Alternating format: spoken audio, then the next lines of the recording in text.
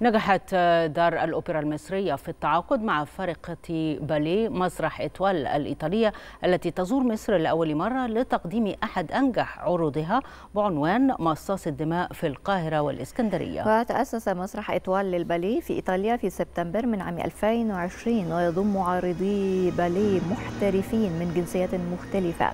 ويعتبر مصاص الدماء من أنجح عروض الفرقة. وظهر للنور في إيطاليا في أكتوبر من عام 2021 وحقق نجاحا جماهيريا ضخما.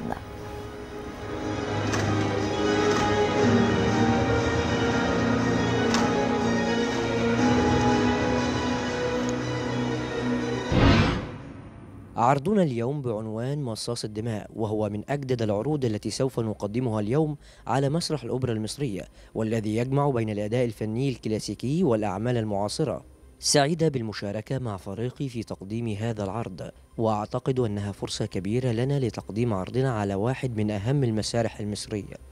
أود أن أقول أنه من العظيم التواجد هنا بين الشعب المصري وسعيد بالتعاون مع الأوبرا المصرية وهذا التعاون الجيد لتقديم واحد من أقوى عروضنا أمام الجمهور المصري.